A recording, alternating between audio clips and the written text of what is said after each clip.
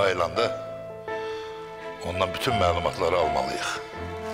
Amma o vaxta qədərsə onun harda olduğunu heç kim bilməməlidir. Özüm axı işte bilmirəm. Əri ilə dalaşıb çıxıb gedib evdən. Nigar bizi atıb gedəndən İsmail qapanıb özünə.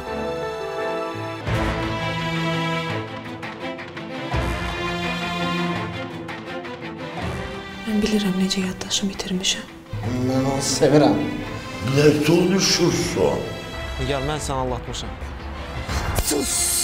Heç vaxt onu sevməmisən və bundan sonra da sevməyəcəksən. O sənə nifrət eləməlidir. Amma mən Kənanı sevirəm. Bu sənin sevginin cəzası olacaq. Nigar!